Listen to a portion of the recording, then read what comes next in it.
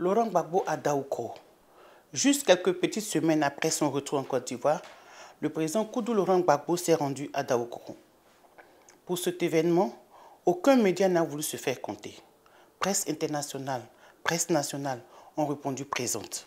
Au sein de la classe politique ivoirienne et au niveau des observateurs de la scène politique nationale, les commentaires vont montrer. Si pour l'opposition ivoirienne, cette rencontre historique augure des lendemains meilleurs, cela ne semble pas être le cas pour le RHDP qui, par l'intermédiaire de son directeur exécutif Adaman Bictogo, torpille les retrouvailles de Daokro. C'est dans ce contexte que PDCI TV reçoit dans le cadre de son émission de décryptage des personnalités politiques ivoiriennes. Mesdames et messieurs, bonsoir et merci de suivre la chaîne officielle du PDCI RDA.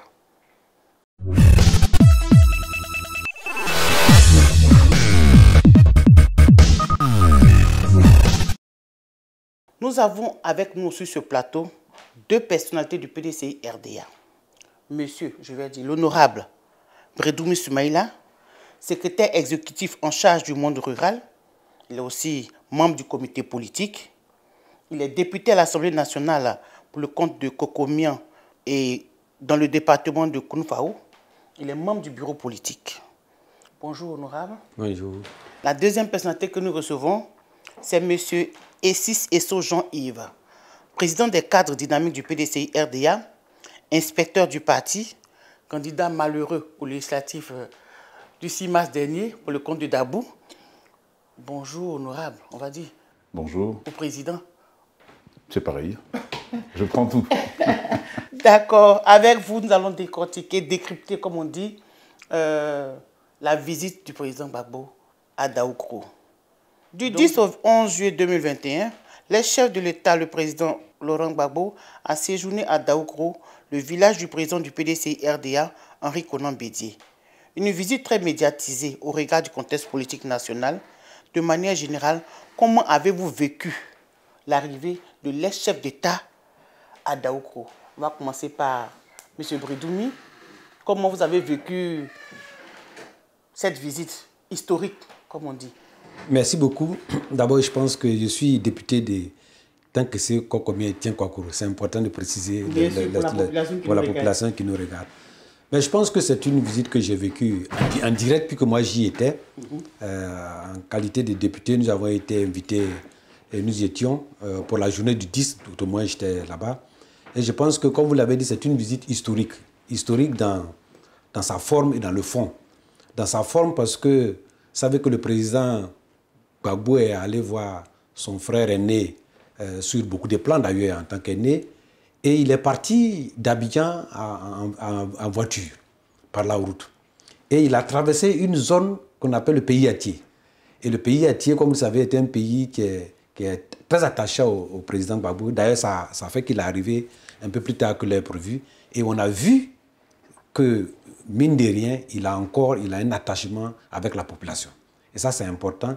Et ce, ce, ce, ce pays Atier est aussi un symbole par rapport au pouvoir actuel, euh, que je ne vais pas préciser. Donc, euh, si encore il, commence à, il continue d'avoir une certaine euh, popularité, et l'accueil qu'il y a eu avec toutes les autorités politiques qui y étaient, qui étaient et puis l'ambiance avant l'arrivée de Gbagbo, l'ambiance pendant et l'intervention du président Gbagbo qui toujours euh, l'entoure ces mots d'humour et des, des gestes qui, font, qui, qui, qui, qui ambiancent les gens pour, dire, pour devenir terre à terre.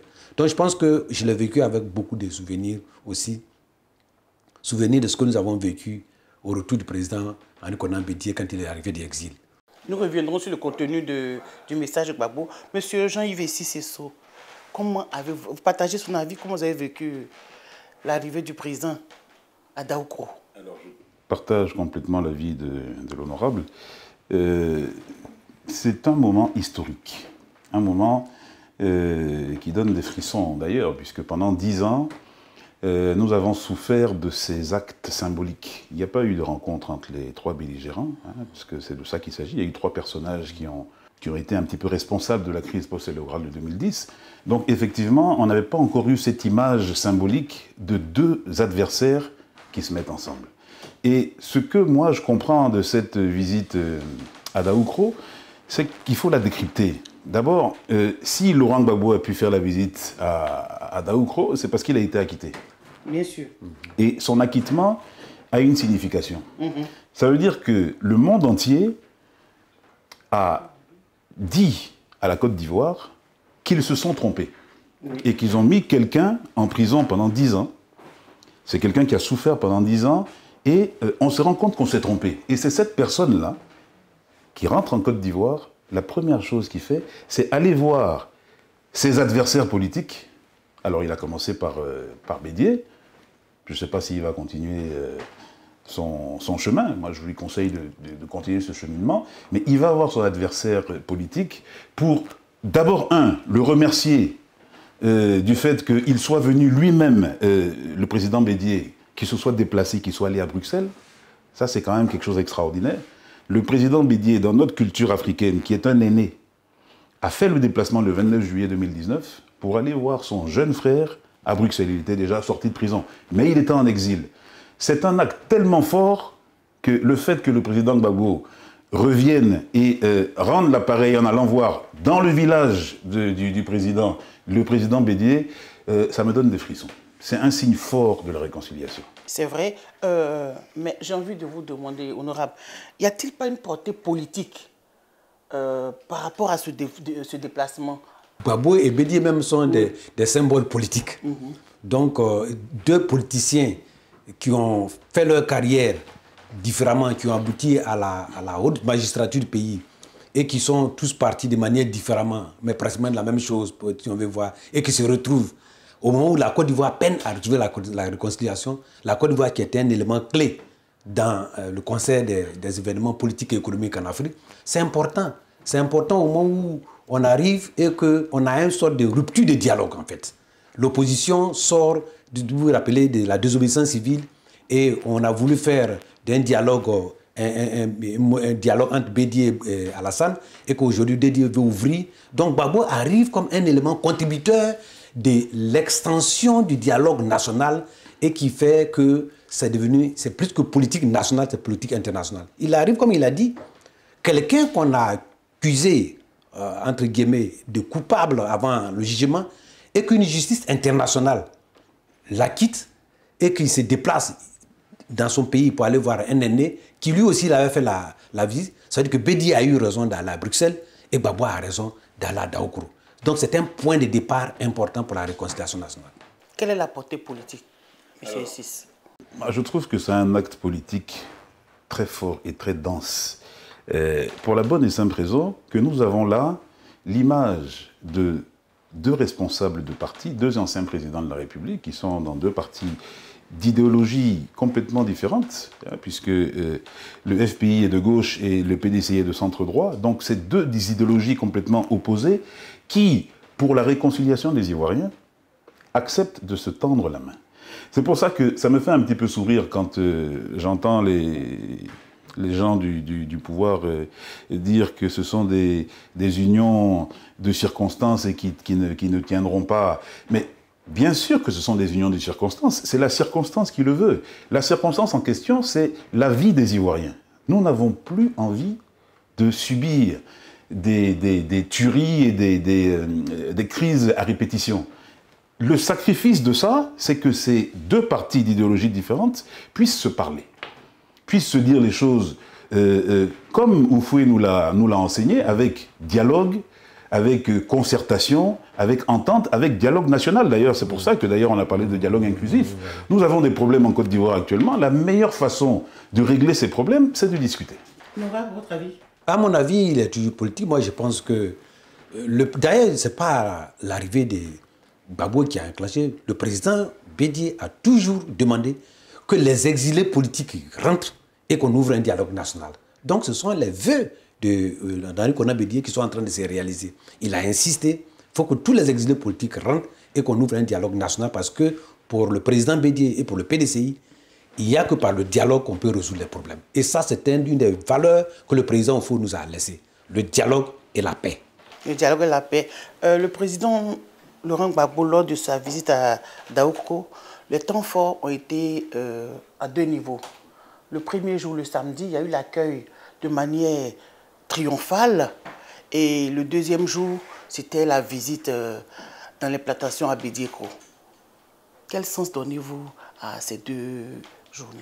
Alors moi, ça me fait énormément plaisir. Ça montre un petit peu la vitalité de la culture africaine. Vous savez, euh, chez nous, euh, la première chose qu'on fait quand quelqu'un vient nous voir, on demande les nouvelles.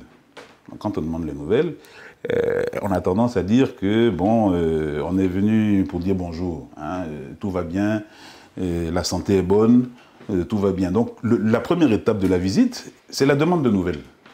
Et euh, on a accueilli le président Gbagbo pour lui dire que on l'a attendu pendant longtemps, euh, les choses vont bien, tout le monde est en bonne santé. Et lui, comment il va? Donc il a parlé de lui, on a eu cet échange chaleureux. Ensuite, pour montrer l'attachement fraternel entre nos, nos, deux présidents, quoi de mieux que de faire rentrer l'hôte dans les parcelles privées de celui qui le reçoit. C'est pour ça que le président Bédier l'a amené à Bédier-Cro, dans les plantations, pour qu'ils puissent se promener un petit peu ensemble, pour monter un petit peu cette, euh, cette fraternité qu'il y a entre ces deux, entre ces deux ex-présidents. Donc vraiment, j'ai regardé ça avec le sourire, avec la joie. Partagez-vous son avis, vous qui étiez, vous qui étiez, vous qui étiez à Oui, je n'étais pas dans le, dans le champ, mais je pense que le symbole du, du président Bédier d'envoyer le président Gbagbo chez lui, à domicile, mais dans les plantations, c'est des symboles forts parce que le président Bédier va là-bas avec des autres, des marques. Il va là-bas aussi, c'est son domaine pratiquement pitié, c'est à Bédier Kourou, comme on le dit. Donc je pense que c'est un signe. Et c'est un signe aussi qui marque l'attachement du président Bédier au terroir et aux, populations. Et vous avez le président Babou arrivé, il dit Je m'en vais chez moi, pleurer mes, mes, mes, mes, morts, et puis je reviens. Il est allé à maman. Et il va chez Bédier, à Bédier Kourou, à Daoukoro et après Plasso. Donc vraiment, ça montre que ce sont deux personnalités attachées au terroir et au problème du peuple ivoirien dans sa profondeur. Euh, on, continue. Après ça, il y a eu euh, un communiqué qui a été lu, le communiqué final. Euh, quelles sont vos différentes réactions? Euh, moi, j'ai un sentiment de, fierté et de devoir accompli. J'ai lu le communiqué, euh, je me suis même permis de prendre quelques extraits qui, qui, me touchent. Hein. Il est dit dans le communiqué que le président Henri Conan Bédier ressent cette visite comme un acte fort, euh, à la fois de rapprochement et de convergence sur le besoin de, de, convergence de vue, hein, sur le, le, besoin de réconciliation. Et il est dit également que les présidents Bédier et Gbagbo invitent toutes les Ivoiriennes et tous les Ivoiriens à se mobiliser pour un dialogue national, euh, une compréhension mutuelle, une fraternité vraie et euh, une paix durable. Alors, quand on lit un communiqué final comme ça, on ne peut qu'être satisfait et fier. Euh, j'espère, j'espère que cet acte et ce, symbole fort que nous ont montré les deux présidents vont susciter des, vocations ailleurs. Hein. Vous savez que le, le, conflit il a été entre trois personnes. Donc on espère que ça va amener les autres qui ne sont pas dans cette euh, dynamique-là, euh, d'aller vers cette dynamique de paix et de réconciliation.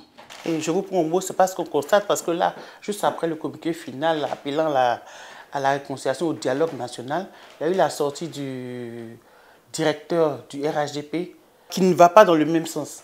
Honorable. Bon, moi je pense que le, le communiqué a fait appel à un dialogue pour la paix durable. Et on a vu donc le communiqué, l'interview, enfin le, la conférence de presse. Mais moi, personnellement, je ne pense pas que ce soit partagé par le RHDP en tant que parti. Vous savez, souvent, eh, il y a des gens qui réagissent à chaud parce que comment peut-on être fautiste et dire a priori, je refuse le dialogue? Je dis a priori. Un dialogue peut s'entamer, on peut ne pas être tombé d'accord sur un principe, mais on s'accorde de vivre ensemble. Deuxièmement, le président Oufo-Boigny lui-même, quand tout marchait bien, de par ses informations sur le temps, a fait ce qu'on appelle la journée du dialogue national. Il avait tous les leviers, mais à un moment donné, un contact direct avec le dialogue national. Donc, il l'a toujours utilisé comme instrument de pacification et de stabilité du régime. Alors, on ne peut pas se réclamer aux fautistes, et puis à un moment donné, on dit non. Quelqu'un dit on vient au dialogue, et puis on refuse. Alors que ce n'est pas la première fois qu'on a fait ça après le coup d'État. Vous rappelez-vous? Au dialogue, dans le président Bédi était y allé, et y allé. Donc je ne pense pas que ça soit véritablement partagé. Moi, je peux vous dire une chose. Je suis à l'Assemblée, on reçoit des, commissaires du gouvernement, des gens du, du RHDP. De la manière ils viennent s'exprimer, que nous posons les problèmes, et la manière ils réagissent, je ne pense pas qu'il soit dans, dans la même ordre. Parce que, pas plus tard qu'hier, on a reçu un ministre du RHDP sur la santé. Et la déclaration du groupe parlementaire RHDP, EDS, tous allaient au-delà même de l'objet de la chose pour dire qu'il y a des problèmes au niveau rural, il y a des problèmes de la santé. Et de manière humble et réaliste, les ministres reconnaissent qu'il y a des problèmes, mais nous sommes en train de les résoudre. Et nous voulons une concertation, nous voulons l'appui de vous, les, les, les, élus. Donc, je ne veux pas comprendre que ce même parti, à un niveau structurel, se dit je suis contre la chose. On veut la paix, on veut la stabilité, et on pense qu'une partie de la population n'est pas accessible à un contact, à un échange pour arriver à la paix.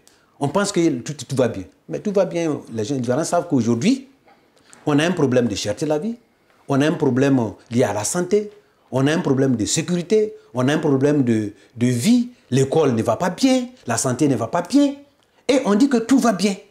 Nous, à l'Assemblée, on reçoit des choses. Le président Ouattara, quand il venait, au, quand il faisait campagne, il a dit, je vais bâtir ce pays sur deux choses, les ressources du PPTE et les ressources personnelles. Aujourd'hui, on est passé de 5 000 milliards de dettes à 22 000 milliards. Cela veut dire que lui-même se rend compte qu'il n'a pas pu construire le pays par rapport aux ressources intérieures. Il y a un problème. L'indice Gimi indique que la Côte d'Ivoire est l'un des pays où il y a plus d'inégalités en Afrique de l'Ouest. Inégalité en nord et sud, entre le milieu rural et le milieu urbain, inégalité entre riches et pauvres. Il y a une petite minorité qui a ça. C'est une perception. On a un problème de délestage, on a la cherté de la vie. Tout ça, là, font des éléments qui doivent passer par le dialogue pour qu'ensemble on les résolve. Et on dit non, il n'y a pas de problème, ça va bien, le pays va bien. Je ne pense pas que ce soit la position réelle de la majorité du RHDP. Le président l'a dit, euh, l'honorable vient de le dire, le président Bédi dans son intervention aussi a demandé une réconciliation nationale. Le président Bédi l'a dit. Comment y arriver? Mais écoutez, moi je pense que le problème il est simple. Euh, ça ne dépend que de la volonté du chef de l'État. C'est aussi simple que ça. Vous savez, euh, les Ivoiriens ne sont pas compliqués. Les Ivoiriens ont des symboles. Moi, je suis euh, inspecteur du PDCI, militant actif du PDCI. Mon symbole, c'est le président Bédier. Ce que le président Bédier dit, je m'exécute. Euh, tous les militants du FPI, allez, quand je dis FPI, j'englobe tout, hein, EDS, FPI, enfin toutes les branches imaginaires. Hein. Pour moi, il y a un seul FPI, d'ailleurs, ils, vont se, ils vont se retrouver, ils sont assez assez responsables pour s'unir. les, militants du FPI n'ont euh, une seule idole, c'est Laurent Gbagbo. Le RHDP, c'est Alassane Ouattara. Mais écoutez, pour réconcilier des Ivoiriens, mais il suffit que les trois symboles se réconcilient. C'est aussi simple que ça. Maintenant, nous avons deux personnes qui se sont réconciliées, on attend la troisième. Ça dépend de la volonté du chef de l'État. Comment faire pour obtenir cette volonté? Mais le président Bédier dans son intervention, a dit qu'il faut une forte implication du chef d'État Alassane Ouattara pour arriver à cela. Que lui, il mettra toutes ses forces et ses forces qui lui restent. C'est-à-dire qu'il a engagé déjà. Ce n'est pas la première fois qu'il lance ça. Il l'emmène donc avec lui son jeune frère Laurent Gbagbo. Parce que ça aussi, c'est un courant qu'il faut voir. C'est le président Bédier qui l'emmène à dire laissons ce qui s'est passé et allons à la réconciliation parce que nous avons un héritage à laisser à la future génération. Donc Bédier est en train de mouler, arrondir certaines règles. Babo dit il faut la vérité. Mais ce n'est qu'au journaux de dialogue qu'on peut dire la vérité. On ne dit pas la vérité n'importe comment. Comment l'y amener Je pense que le président Ouattara n'a pas de choix, à mon avis. Parce que s'il veut un pays stable, avec dans le concert de ce qui se passe autour, s'il veut un pays réconcilié, parce que lui aussi doit préparer la relève, je crois qu'il ne peut pas venir dire devant la nation, je ne veux pas de dialogue. La forme du dialogue peut varier selon les tendances. Mais il ne peut pas venir devant la nation pour dire je ne veux pas le dialogue. Parce que les symboles, nous, sommes des oufouettistes, nous sommes des bédiéistes. Moi, Bédier dit quelque chose, c'est ce qu'il va faire. Même si je ne suis pas d'accord, on va aller négocier en termes, il va dire allons-y parce que c'est voilà. Et chez nous, on dit le vieux, quand il est assis, il voit des choses que quand le jeune tu es élevé, tu, es debout, tu ne vois pas. Donc, Babo est venu, je vous ai donné l'ambiance qui a prévalu en un. S'il dit on, on pardonne, c'est lui qui a le plus souffert. Celui qui a le plus souffert, s'il vient et dit que moi je pardonne, mais vous qui avez vous qui dites que vous étiez là, personne n'allait. Et puis je pense qu'il faut un peu d'humilité. Vous savez, moi je suis un musulman. Je crois beaucoup en Allah et je crains Dieu. Dieu a dit dans le Saint-Coran, dans une sourate qu'on appelle le sourate Moulk, cela veut dire, excusez-moi de dire, cela veut dire que c'est Dieu seul qui détient l'autorité et la puissance. Si vous, homme, vous avez une petite parcelle de cette puissance, que vous pensez qu'elle est éternelle, dans ce pays-là, on a vu nous au PDCI RDA, il y a des gens qui avaient dit Babo ne sera jamais président dans ce pays-là. Il a été président. On a dit non, non, on ne peut rien. On est parti du pouvoir. D'autres sont venus et dit quand on est garçon, on ne fuit pas. Ils n'ont même pas eu le temps de fuir. D'autres sont venus, on dit il n'y a rien en face. Ils ont vu les silhouettes, sont partis. Ceux-là sont venus aujourd'hui, on est au tout puissant, c'est nous, on commande tout. Mais Dieu, lui, n'a pas encore dit son dernier mot. Pour que Dieu dise un mot qui nous arrange, nous tous, soyons humbles. Craignons Dieu. Disons qu'aujourd'hui, on est arrivé à un tournant. Le président Bédi l'a dit dans son discours Dieu a choisi ce jour pour que tu viennes. Et le président Bédi, spirituellement, a cité certains passages de la Bible, des psaumes. Tout à fait. Donc, il faut confier, il faut craindre Dieu. Tous ceux qui craignent Dieu, c'est que Dieu nous a choisi le dernier moment pour qu'on se réconcilie. Sinon, Dieu lui va trancher. Et quand il tranche, malheureusement, innocent comme coupable, des fois, on est tous victimes de la colère de Dieu. Prions que cette colère ne s'abatte pas sur la Côte d'Ivoire. Euh, Monsieur Sis, vous êtes inspecteur du parti, vous l'avez dit à l'entame. Quel est le message fort que vous voudriez adresser aux militants du PDCI RDA et à toute la population ivoirienne par rapport à cette visite et surtout à la réaction de Bitogo, du directeur exécutif du RHGP. Quel est votre message?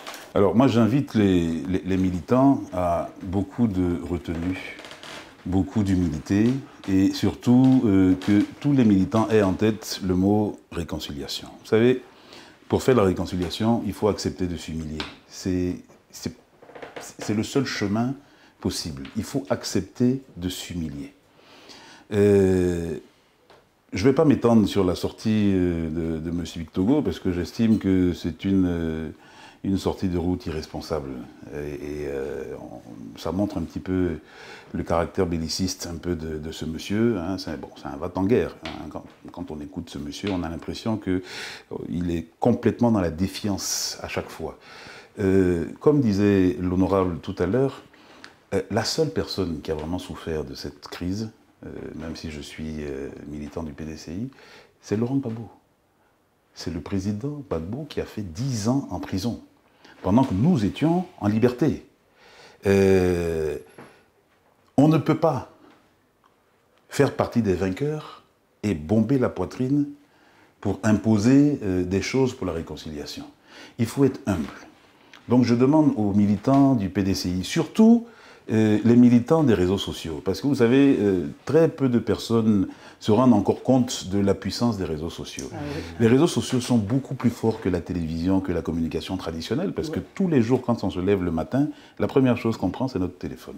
Et on est informé directement sur celui qui écrit quelque chose sur les réseaux sociaux. Donc je demande aux militants euh, PDCI beaucoup de mesures dans les propos, beaucoup d'humilité nous sommes dans une démarche de, réconciliation. Nous ne sommes pas dans une démarche de xénophobie, de, euh, attends, tu vas voir ton tour, quand, tu vas, quand vous allez quitter, vous allez voir ce qu'on va vous montrer.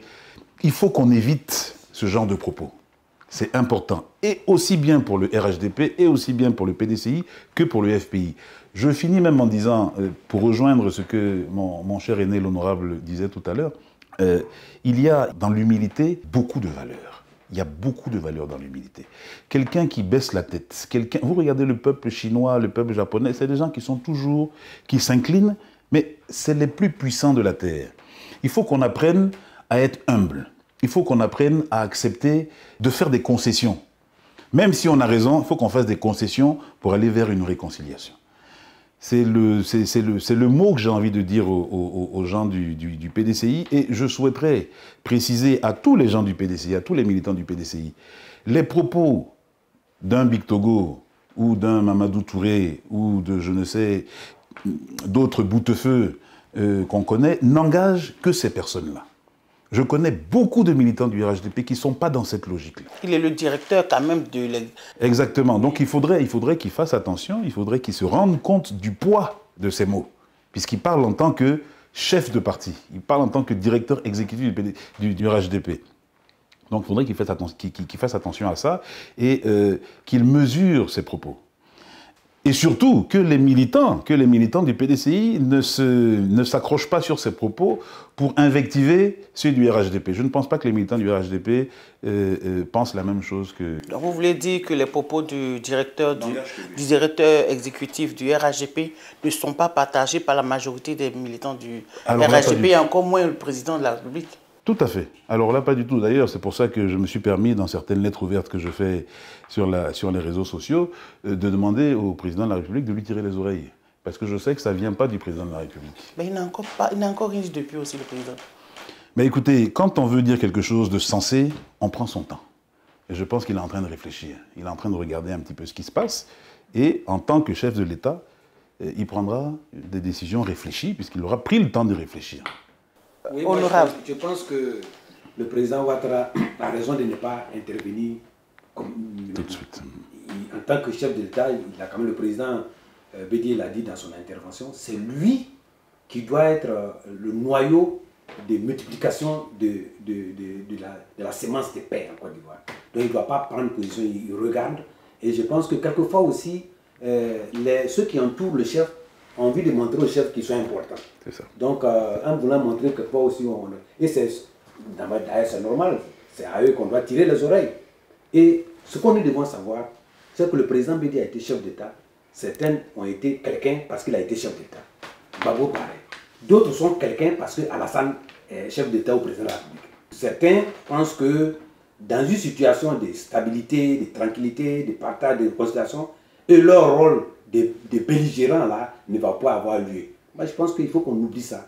Le vrai problème de la Côte d'Ivoire, c'est la lutte contre la pauvreté.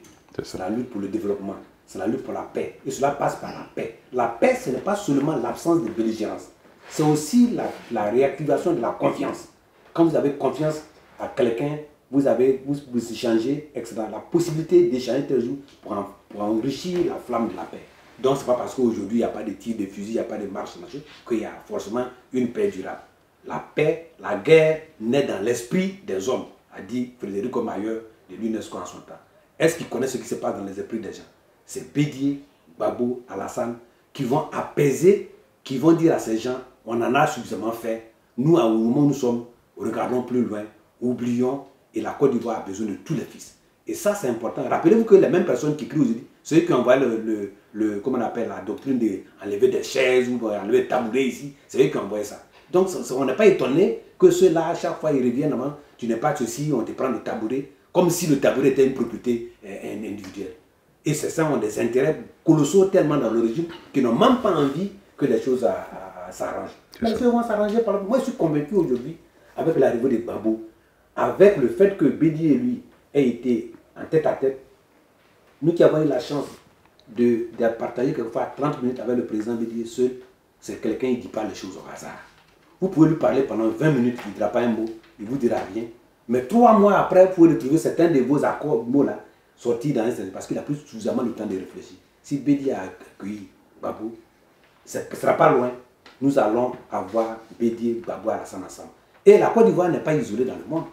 Il y a aussi certains qui ont intérêt à ce qu'il y ait la paix en Côte d'Ivoire qui ne sont pas ivoiriens. Et je crois que le réseau est enclenché. Prions Dieu que tout se passe bien. Vous voulez dire, honorable, que cette alliance euh, FPI et PDCI gagne en solidité. Elle est plus que solide. Mais on ne doit pas forcément se limiter à l'alliance FPI-PDC. On doit se limiter à l'alliance nationale. Parce que imaginez-vous qu'on les partis ne s'allient pas pour que on dise toi tu vas monter. On s'allie pour que éventuellement, quand je suis en position de force, tu m'aides. Donc aujourd'hui, l'alliance nationale, c'est celle des intérêts des Ivoiriens. Mais aujourd'hui, il y a une branche qui est FPI, PDCI, qui est une branche, qu'on le veut ou non, qui devient la plus forte. Ça, je le dis mais la plus forte, la plus médiatisée, la plus enclin, celle qui peut opter pour les alternatives, parce que les Ivoiriens ont besoin d'alternatives. Ils on a vu le PDCI gérer pendant 30 ans, on a vu le FPI venir gérer pendant 10 ans, on a vu le RDR, le RDR RHDP devenir 30 ans. On sait ce que c'est. On sait, les Ivoiriens ont vécu. Et la nostalgie aujourd'hui de tous les Ivoiriens, c'est le PDCI. Je suis désolé de le dire, les gens ont besoin d'avoir une bonne formation, ils ont besoin de bien manger, ils ont besoin d'avoir la paix, ils ont besoin d'avoir le route, ils ont besoin de ne pas être harcelés pour aller quelque part. La liberté, on a besoin que les Ivoiriens se retrouvent, et ça sont les creux du PDCI et RDR, ce que le président Bédi appelle les leviers de la réconciliation et du développement durable. Merci, honorable. Euh, si vous avez un dernier mot avant la conclusion. Alors moi je dirais hein, en dernier mot que le pays va mal. Hein, Voilà, qu'on ne nous dise pas que le pays va bien, c'est un petit peu, c'est même pas un euphémisme, c'est euh, une provocation. C'est une provocation. Hein. Quand on a le nouveau visage du marché ivoirien, euh, j'ai pris la peine de, noter certaines choses sur le nouveau visage du, marché ivoirien. Le sac de riz de 22 kg passe de 8 000 à 12 500 francs. L'huile, 20 litres, passe de 14 000 à 21 000 francs. Le kilo de viande passe de 1 600 à 3 000 francs. Le panier de tomates passe de 16 000 à 28 000 francs. Le carton de tilapia passe de 11 000, moi-même je l'achetais souvent, euh, à 19 500. Le carton de maquereau de 13 000 à 18 000 francs. Et j'en passe et des meilleurs. Tout a augmenté. Le transport, le matin, les trajets, en Baka, sont, sont passés de 300. Quand tu vas au travail, c'est passé de 300 à 500. Maintenant, quand tu descends, c'est passé de 300 à 600 francs. Je ne parle même pas des factures CIE, Sodeci, Canal+, qui sont extrêmement élevées. Du simple au double. Du simple au double. Orange, MTN, Move. Tu fais un dépôt de 10 000, toi-même ton propre argent, hein, tu payes 700 francs de frais. Tu envoies l'argent, on te coupe. Tu déposes l'argent, on te coupe. Tu retires l'argent, on te coupe. Non mais quand même, on ne peut pas venir nous dire que tout va bien. Alors, le, le minimum de décence, ce serait de faire profil bas, ce serait de faire la réconciliation, ce serait de faire un peut-être un gouvernement d'union nationale. Il faudrait que euh, les, les, les, cerveaux se mettent ensemble pour que le paysage politique, le paysage socio-économique ivoirien aille beaucoup mieux. Et nous prions le Seigneur pour que ça arrive. Votre mot de fin, honorable Mais Boubélier Babou, c'est quand même près de 70% de la population ivoirienne, qu'on le veuille ou non. C'est ça. On ne peut pas commander un pays et oublier ce pourcentage. Ils vont dire on a on a tel pourcent de conseils régionaux, mais on sait ce que les découpages politiques font. Donc, je pense qu'il faut absolument que cette alliance-là puisse contribuer véritablement et à la réconciliation et à la gestion du pays. La deuxième chose, c'est que ceux qui crient que tout va bien n'ont pas la réalité du pays. Nous sommes des députés du monde rural. Au niveau de la santé, hier on en parlait avec le ministre de la Santé, vous allez, vous avez les poches de vous savez ce qu'on fait? Les, Le médicament, les gens se, vont aux médicaments par terre plutôt que d'aller dans les hôpitaux? Les centres de santé, il n'y a pas d'équipement. Vous avez vu souvent les, scandales qu'il y a eu avec des sages-femmes qui sont il y a ça. L'éducation nationale. Mais on ne va pas me dire que ce que la ministre, la nouvelle dame là, est en train de faire, que tout le monde apprécie, que c'est tout. Marie tout, C'est la réalité. Où on est dernier, avant-dernier du classement chose. On va pas aujourd'hui, la Banque mondiale vient de montrer que 54,6% des producteurs de cacao sont en dessous du seuil de pauvreté. Et le DG du Cacao a dit que ça fait à peu près 1 million de population. Si chacun a 10 personnes, ça fait 10, 10 millions sur les 24 millions, 25 millions de gens qui sont pauvres, ne serait que dans ce secteur-là. Le pays va bien comme ça? Les marchés, le, le, notre dette, comme je l'ai dit tout à l'heure, passe de 5 000 à 22 000 milliards. Le pays va bien comme ça? Il a parlé de la de la vie. Mais il n'a pas parlé encore des stress que les gens vivent, qui créent des maladies et que les gens ne peuvent pas se guérir. Le stress, c'est la pire des maladies, le stress. Les gens sont stressés. Quand tu te lèves le matin, tu ne sais même pas qu'est-ce qui, va arriver. Et quand tu ouvres les choses, c'est les journaux. Mais on est au TVPDC ici. On est parti à, à, Combien de temps on a accordé ça à la, télévision nationale? Tout le monde paye la, la redevance. Quelle injustice. c'est ça aussi, tout ça là qu'il faut régler. Et eux, quand ils, à peine ils sortent de leur maison, tout est présenté là-bas. Donc, il y a beaucoup d'injustices qu'il faut régler. Je pense qu'on doit être humble Dieu va nous aider à nous réconcilier. La réconciliation, ça arrange la majorité. Ça n'arrange pas les belligérants, les pelliqueux. Et tout cela, ils sont minoritaires, et tant pis pour les minoritaires. Il a dit la réconciliation arrange la majorité. Merci à vous d'avoir accepté notre invitation. Merci. Comme je le disais, nous recevions sur PDCI TV, la chaîne officielle du PDCI RDA, deux personnalités du PDCI RDA. L'honorable Redoumi Soumaïla, membre du bureau politique, membre du comité politique, secrétaire exécutif du PDCI RDA en charge du monde rural. Monsieur Essis Esso Jean-Yves, président des cadres dynamiques du PDCI RDA, inspecteur du parti, candidat malheureux à Dabou. Et membre du bureau politique aussi. Quant à vous, chers téléspectateurs, merci d'avoir été avec nous et à très bientôt pour un prochain numéro. Bonsoir. Merci.